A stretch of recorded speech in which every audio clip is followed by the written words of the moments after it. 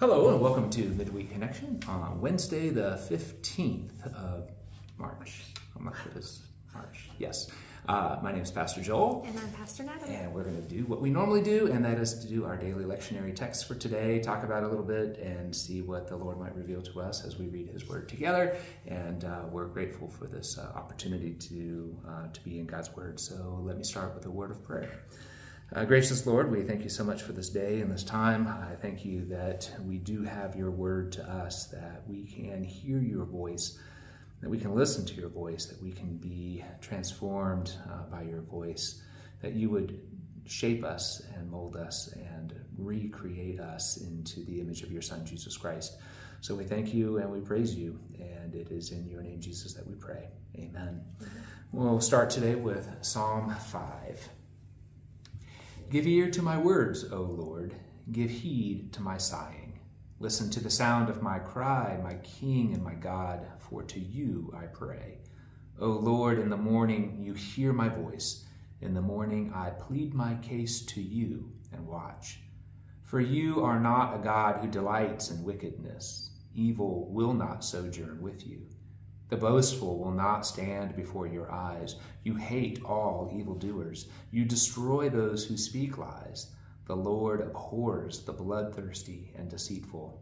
But I, through the abundance of your steadfast love, will enter your house. I will bow down toward your holy temple in awe of you.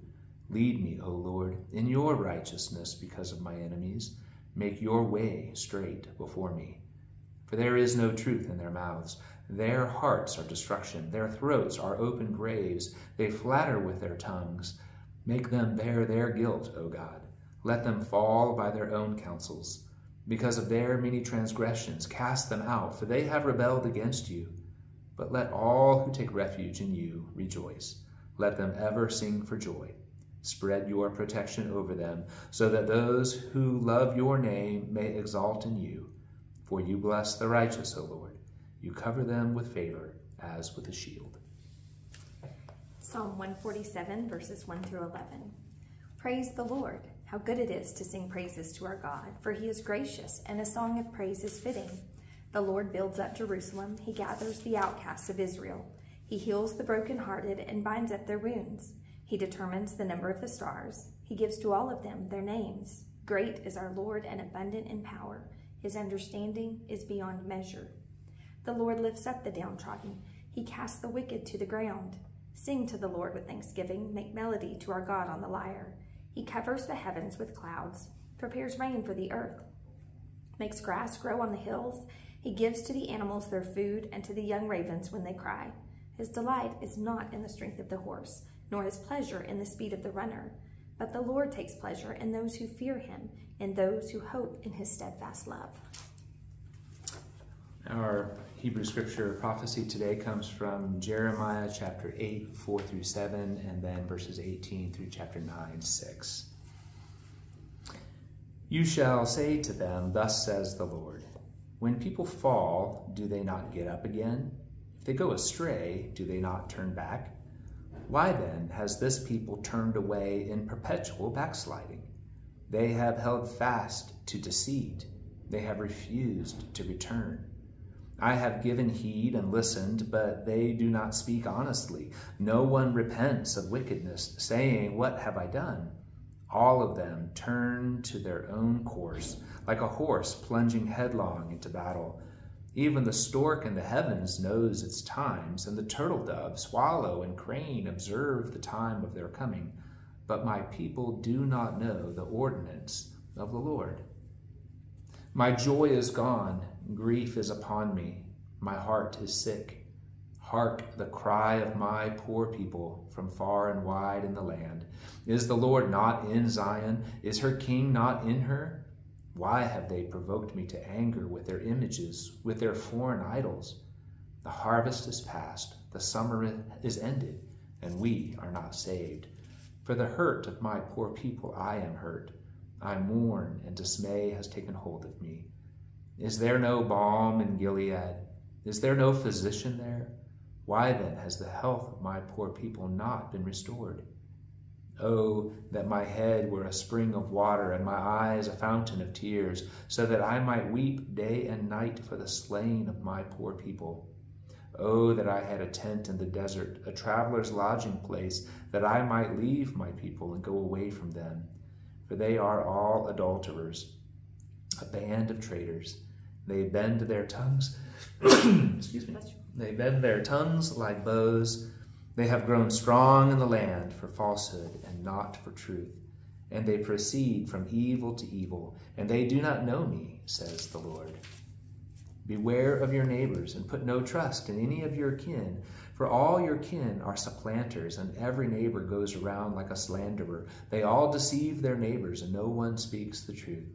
They have taught their tongues to speak lies. They commit iniquity and are too weary to repent oppression upon oppression, deceit upon deceit. They refuse to know me, says the Lord. And from Romans chapter 5, verses 1 through 11. Therefore, since we are justified by faith, we have peace with God through our Lord Jesus Christ, through whom we have obtained access to this grace in which we stand, and we boast in our hope of sharing the glory of God. And not only that, but we also boast in our sufferings, knowing that suffering produces endurance, and endurance produces character, and character produces hope, and hope does not disappoint us, because God's love has been poured into our hearts through the Holy Spirit that has been given to us. For while we were still weak, at the right time, Christ died for the ungodly. Indeed, rarely will anyone die for a righteous person, though perhaps for a good person someone might actually dare to die. But God proves his love for us in that while we still were sinners, Christ died for us. Much more surely then, now that we have been justified by his blood, will we be saved through him from the wrath of God. For if while we were enemies, we were reconciled to God through the death of his Son, much more surely, having been reconciled, will we be saved by his life. But more than that, we even boast in God through our Lord Jesus Christ, through whom we have now received reconciliation. And our gospel text today comes from John 8, verses 12 through 20. Again, Jesus spoke to them, saying, I am the light of the world. Whoever follows me will never walk in darkness, but will have the light of life. Then the Pharisees said to him, You are testifying on your own behalf. Your testimony is not valid. Jesus answered, Even if I testify on my own behalf, my testimony is valid because I know where I have come from and where I am going. But you do not know where I come from or where I am going. You judge by human standards. I judge no one. Yet even if I do judge, my judgment is valid, for it is not I alone who judge, but I and the Father who sent me. In your law it is written that the testimony of two witnesses is valid. I testify on my own behalf, and the Father who sent me testifies on my behalf. Then they said to him, Where is your Father? Jesus answered, You know neither me nor my Father. If you knew me, you would know my Father also. He spoke these words while he was teaching in the treasury of the temple, but no one arrested him because his hour had not yet come. And back to our Psalm, Psalm 27. The Lord is my light and my salvation. Whom shall I fear? The Lord is the stronghold of my life. Of whom shall I be afraid? When evildoers assail me to devour my flesh, my adversaries and foes, they shall stumble and fall. Though an army encamp against me, my heart shall not fear. Though war rise up against me, yet I will be confident. One thing I ask of the Lord that I will seek after, to live in the house of the Lord all the days of my life, to behold the beauty of the Lord, and to inquire in his temple.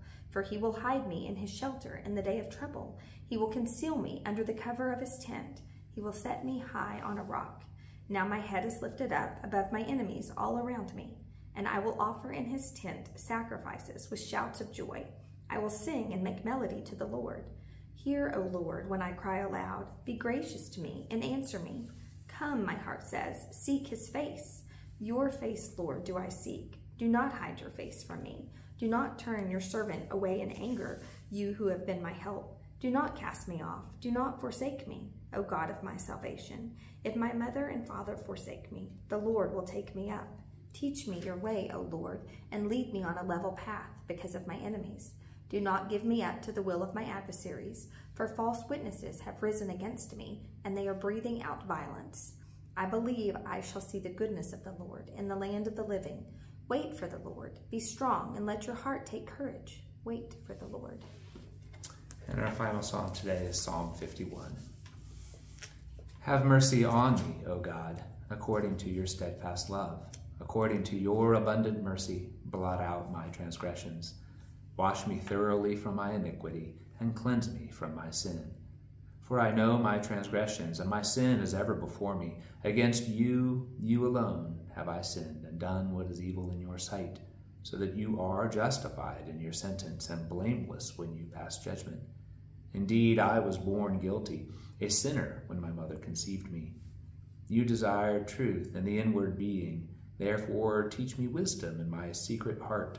Purge me with hyssop, and I shall be clean. Wash me, and I shall be whiter than snow. Let me hear joy and gladness. Let the bones that you have crushed rejoice. Hide your face from my sins and blot out all my iniquities. Create in me a clean heart, O God, and put a new and right spirit within me. Do not cast me away from your presence, and do not take your Holy Spirit from me. Restore to me the joy of your salvation, and sustain in me a willing spirit.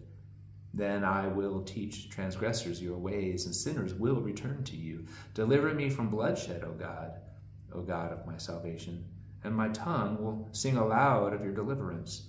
O Lord, open my lips, and my mouth will declare your praise. For you have no delight in sacrifice. If I were to give a burnt offering, you would not be pleased.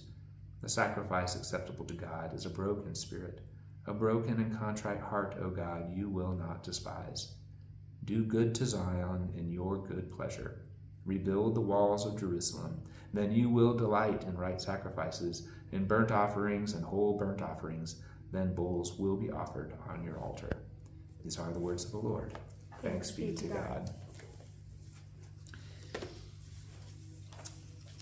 You know, I wonder if we look at Jeremiah first in relation to what was just done in Psalm 51 and and see some of the connections there and then kind of connect it to some other things. That'd be all right? Yeah, Let's try that. Good. So, um, so Jeremiah, uh, the, one of the reasons why Jeremiah is called the weeping prophet is because he does observe um, not just the uh, not just the foretelling of the fall of Jerusalem and its destruction. He actually does then witness it mm-hmm. and um, and so, uh, again, it's not just he knows something's going to happen, he actually sees right. it does happen. And so, uh, starting in, in chapter 8 that we did today and going through with chapter 9, um, this whole reason why the judgment continues to come is that the people, um, you know, God is saying that, you know, even even the normal person when they fall will get up and the person that goes astray they'll turn back but there's something really complicated here about or disbelieving anew who does this? Who doesn't repent when they've done wrong? Right. um, but obviously the people of god the people there in jerusalem are not uh, not repenting. There there's no um, there's no indication that they think they're doing anything wrong that needs to be repented of. Um, I love that image. You know, even the stork knows its times. The turtle, of the swallow, the crane, they know the kind, the time of their coming, but my people don't know the ordinances of the Lord. Um, but then, what is Jeremiah's response to that? It's it's not. Uh, his response is not anger as we might expect. It's this this lamenting, this mournful cry. It's uh, you know, oh that my head were a spring of water and my eyes a fountain of tears, that so that I might weep day and night for the slain of my poor people. Um, you know, my, my grandfather, uh, Grandpa George, would regularly sing that psalm, you know, there is a balm in Gilead that makes the sin sick whole. Um, and so, obviously, coming from this line, uh, is there no balm? Is there no way that the people can be healed? And I think Jeremiah is saying it's like you know, there's options still. There is there's there's opportunity for repentance. There's opportunity to be healed. Yet the people just don't do it. Um, oppression upon oppression, deceit upon deceit, to see. They refuse to know me, says the Lord.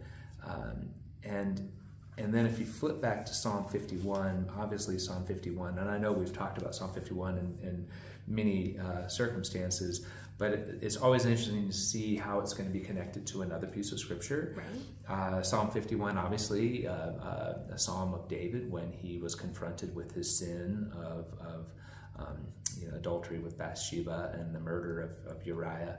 Um, and, and what do we see? But we see the repentance in David's heart that was not evident uh, in Jeremiah's day.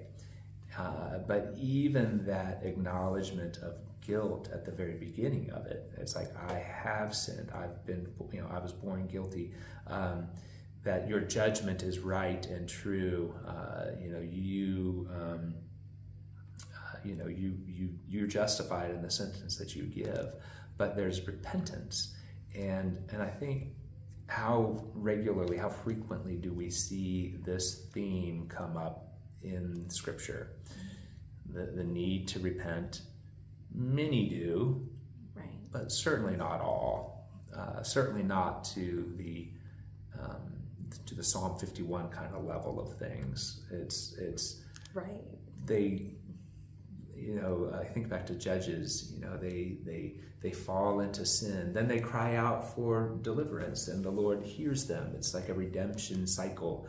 Um, david is clearly confessing sins repenting of them but then there are times that people don't.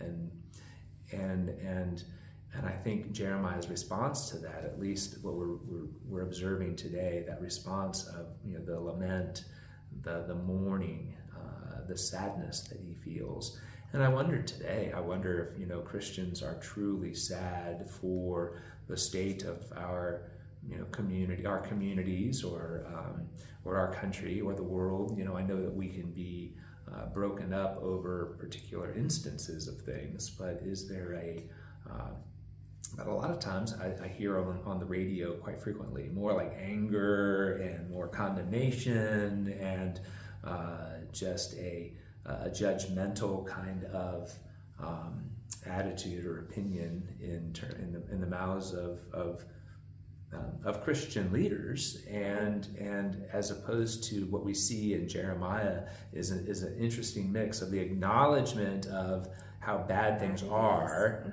uh, but then but then his own mourning and his his lament and his his intercession for the people Right. um, and ultimately i guess his trust that god will continue to work Right. and, and i think that's really where it comes from it's like jeremiah knows that god's like jeremiah like david knows that god's judgments are just and right um, and david um, is is appealing to the character of god um, and I, as I believe Jeremiah is as well. Uh, Right. but He but in the midst of waiting, it's the it's that sadness more than the anger.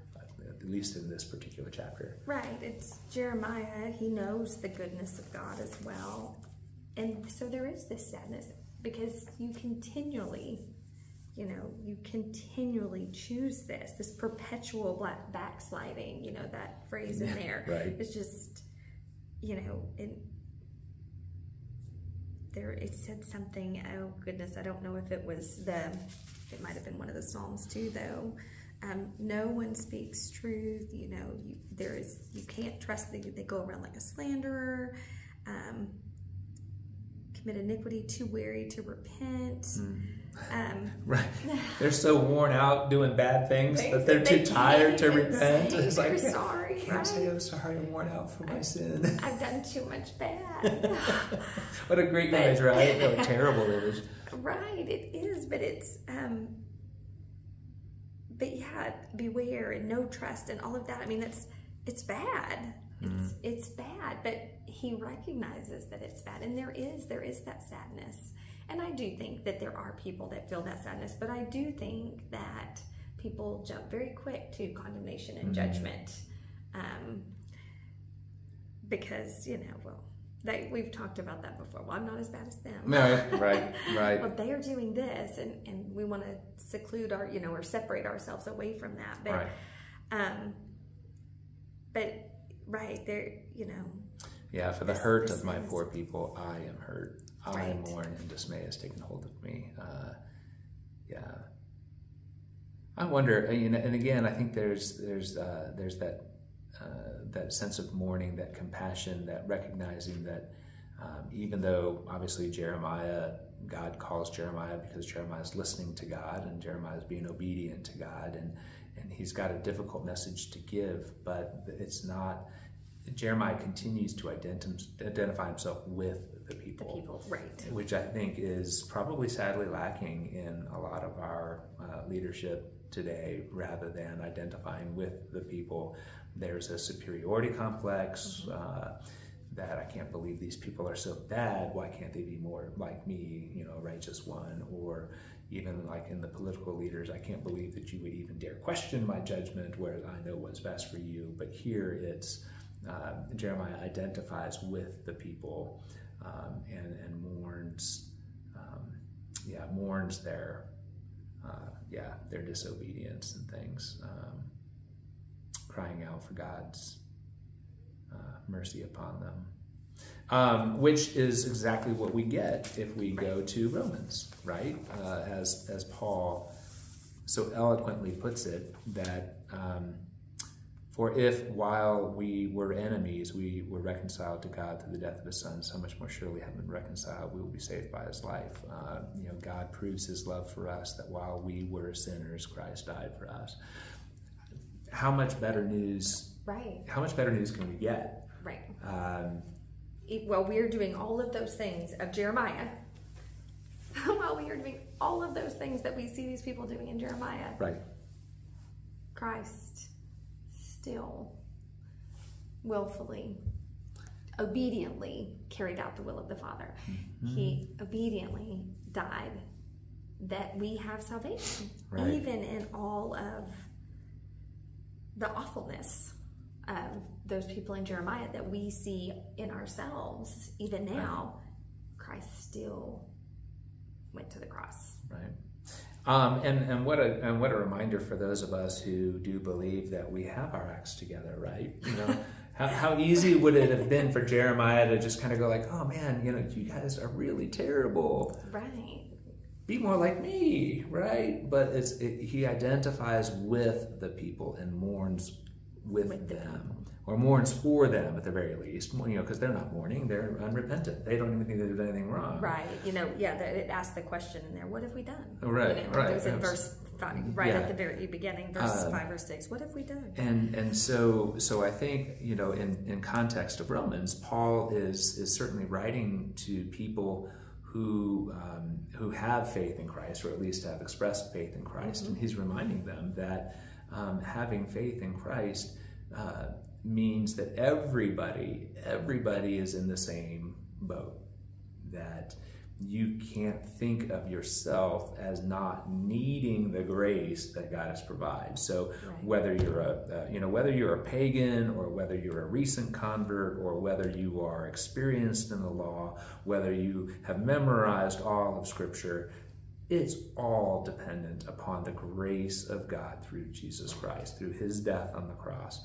And so then, how should we treat one another? You know, if you come right. across as being, uh, you know, I'm, I'm, superior to anybody else, or uh, you know, casting the judgment down on other people, all that kind of stuff. It's it's almost as if you've put yourself beyond need for God's grace. Right, as if and, somehow the law has the ability to save, or righteousness, right. self right. proclaimed righteousness. Yes, like yes, Jesus might have Jesus might have saved me, but now that I've been saved, I'm so good. And right. you know, it's like no, no, no. You are always in.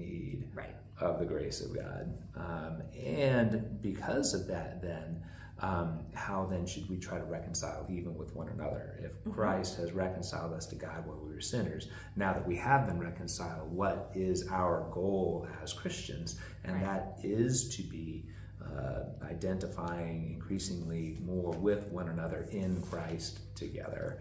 Right. Um, right. Hmm. You know, which means you know you're still gonna you're still gonna suffer, and you're gonna have to have endurance, and that's gonna produce character, and that's gonna be hopeful. Um, so again, Paul's saying it's not easy.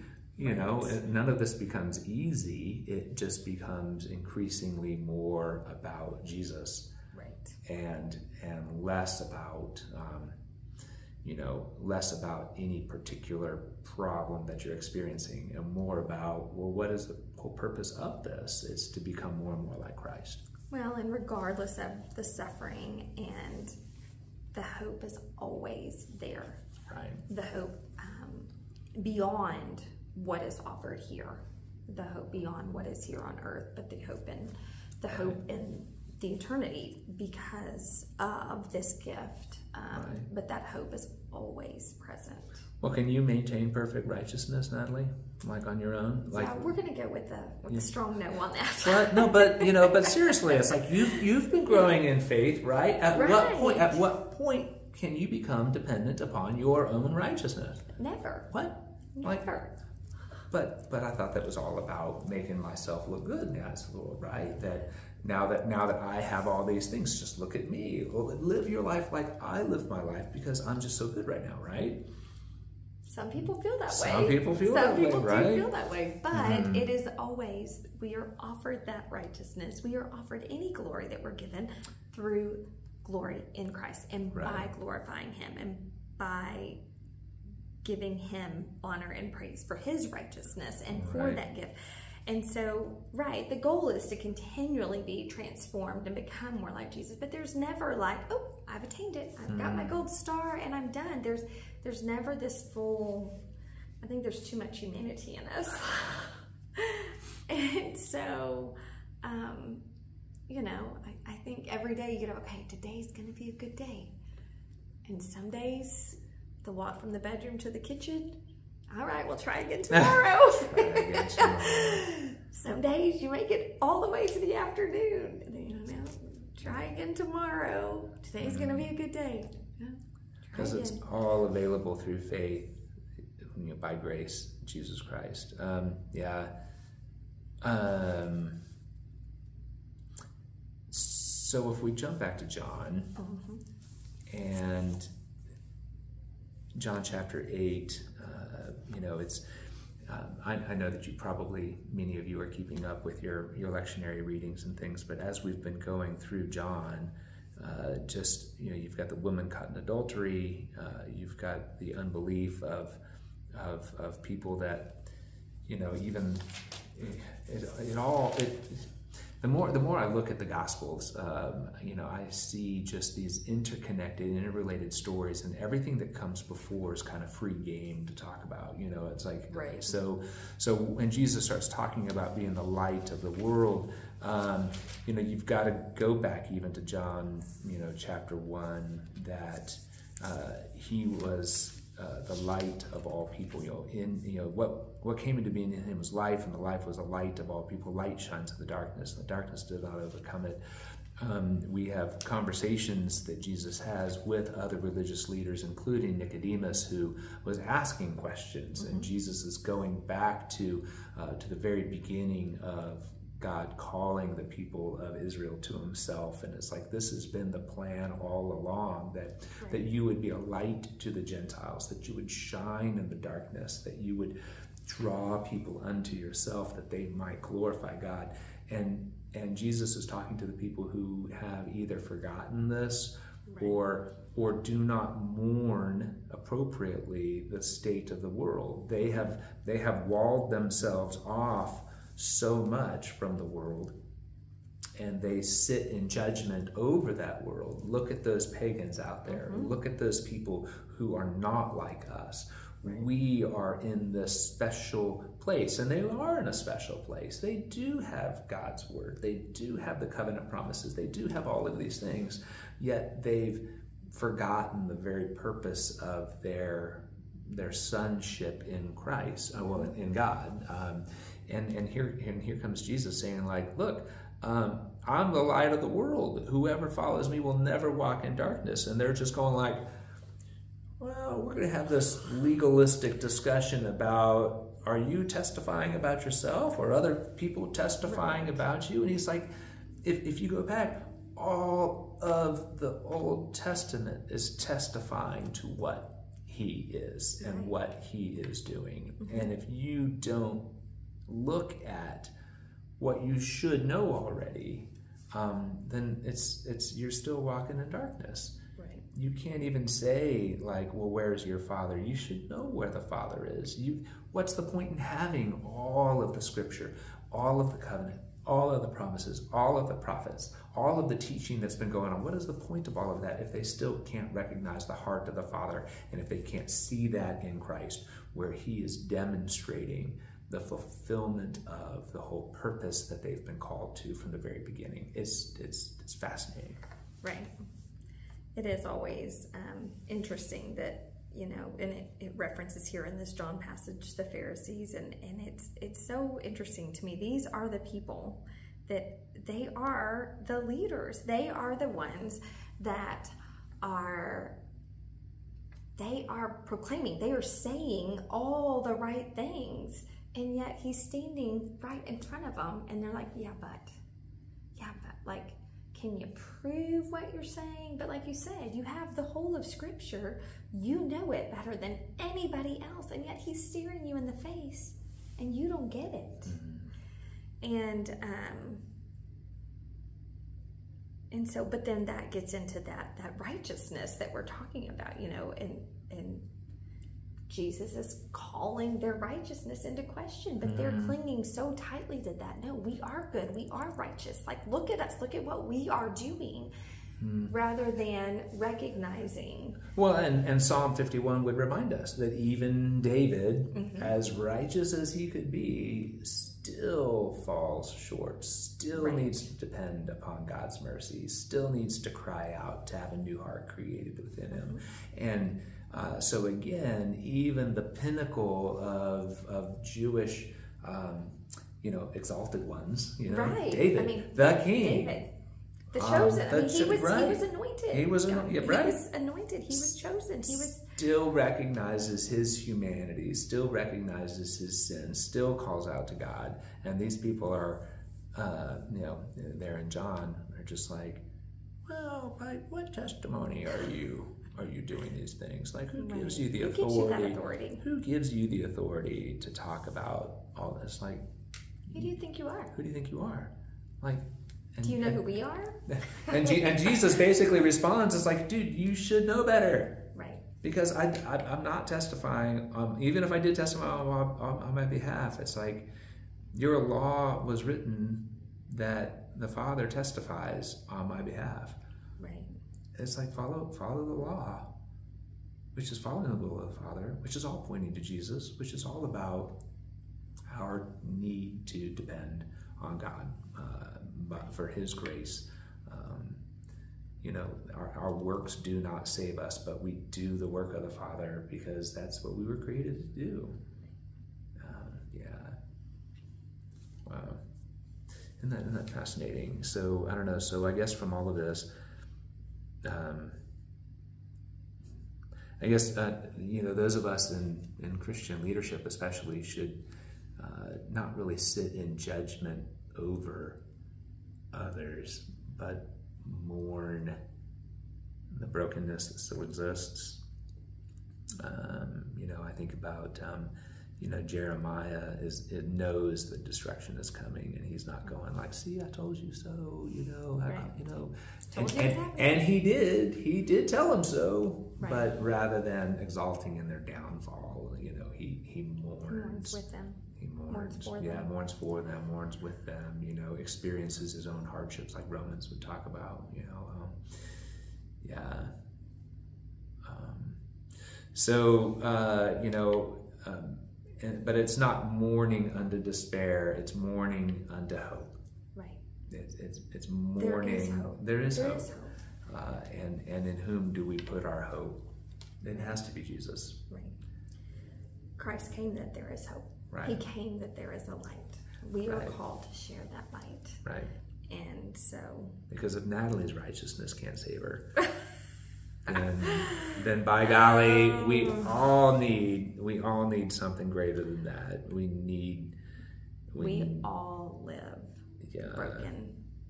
Including your pastors, including your pastors. We live in brokenness. You know, there are every day, like you were saying, every day becomes a struggle, uh, a struggle unto righteousness. And so, but it's, it's, uh, uh, but again, it's, you know, where where do we put our hope? You know, where where do we find that redemption that we all need? Uh, and then how do we uh, respond um, when confronted with the the difficulties of other people?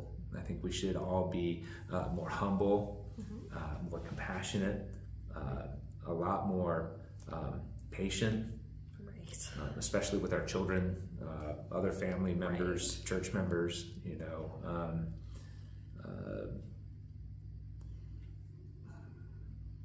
expectantly waiting right.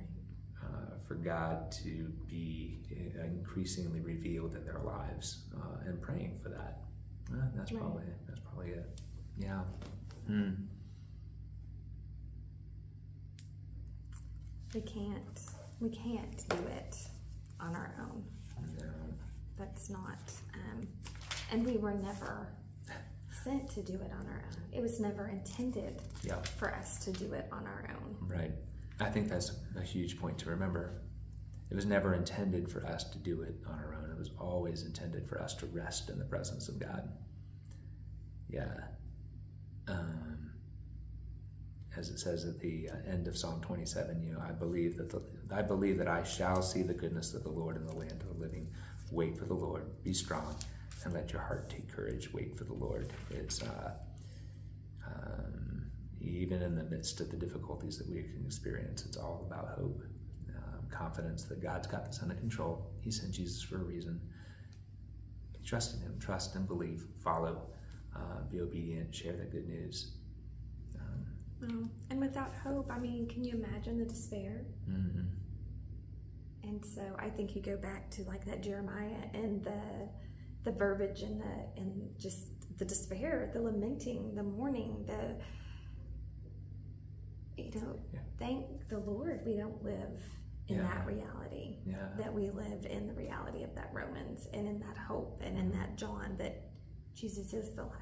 Right. And we are offered hope. Right. Um, like lament and mourning without hope would be miserable. Right. Yeah. There has to be hope on the other end. And there is. There is in Jesus. Yeah, there is. There's hope in Jesus. There's faith in Him and His grace and mercy towards us. Yeah, awesome. Good stuff today. Mm-hmm. Covers it all, doesn't it? it's sort of the whole gospel message, right? It's just kind of this whole thing. Like, yeah. yeah, calling, purpose, fall, repentance, you know, because of what Jesus did. It's all, right. it's all, it's all there, all throughout Scripture. Grace and mercy extended. Hmm. Anything else?